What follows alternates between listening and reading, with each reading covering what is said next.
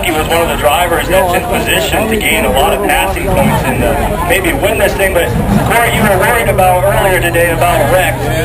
Can you get to the front without getting uh, tore up? Well, I think more than anything, Workaholic.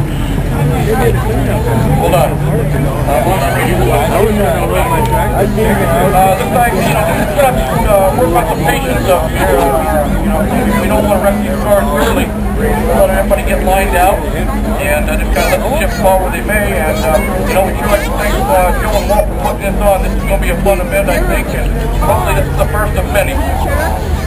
So Corey Junkie looking to go to the front, and like Bruce Garber, he's asking for patience, but we'll see once his green flag drops and patience will prevail.